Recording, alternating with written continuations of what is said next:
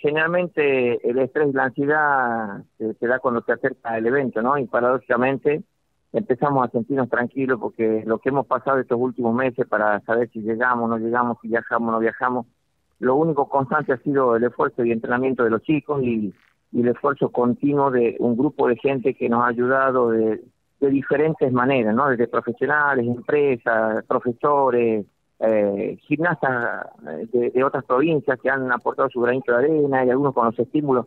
Y esta vez el gobierno que nos ha dado un, un importante, aproximadamente con un 30 y pico por ciento de, de los costos, que es el escollo a saltar siempre, ¿no? Así que la verdad que estamos estamos contentos, empezando el derrotero, eh, hemos salido ayer de Jujuy, este, eh, vía terrestre y esta tarde nomás ya desde seis hacemos el vuelo vía Dallas hasta Tokio. Vamos al Campeonato Mundial de Gimnasia de Trampolín.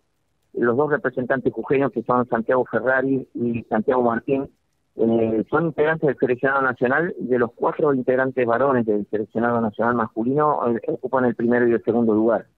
Así que son una pieza importante dentro del seleccionado nacional masculino juvenil y, esperamos tener un buen desempeño. Es vamos a vamos a jugarnos todo. Ese es un trato que hicimos con, los chicos, ellos están dispuestos a, a, hacer absolutamente todo lo que podamos y jugarnos, ¿no? Salir en el puesto eh, noveno y salir en el puesto 60 es lo mismo, pero ellos tienen condiciones como para estar dentro de los ocho mejores del mundo, que son los finalistas.